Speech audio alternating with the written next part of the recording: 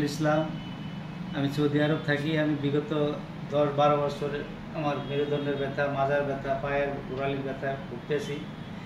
আমি স্যারের ঠিকানা পাইলাম ইউটিউব থেকে। তারপর ছুটিতে আইসা আমি স্যারের সাথে দেখা করি। স্যারে আমাকে এমআরআই দিল এক্স রে করাইলো। তারপরে আমি আর সাথে সাথে স্যারে আমাকে ভর্তি দিল। ভর্তির পরে আমার ট্রিটমেন্ট শুরু করল।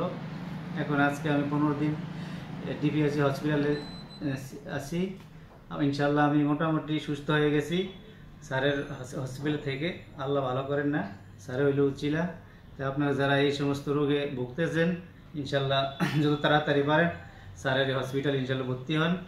ইনশাল্লাহ আল্লাহ ভালো করেন না স্যারে হইলে উচিলা। ইনশাল্লাহ মাফ হয়ে যাবেন। আমি বিগত দশ বারো বছর পেন কিলার খাই খাইছি ব্যথার জন্য কোনো কিছুই হয় না।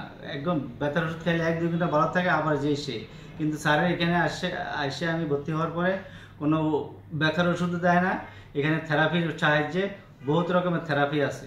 ওই থেরাপির সাহায্যে ইনশাল্লাহ মোটামুটি সুস্থ হয়ে গেছি।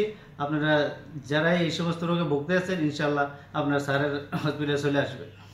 আর স্যারের হসপিটালে যে সমস্ত ব্যায়াম করাইতে আছে কিংবা ডায়াবেটিস আছে, যে সমস্ত পরামর্শ পরামর্শ দেয় পরামর্শ দেয়, ওগুলো আপনারা এইভাবে করবেন, ইনশাল্লাহ।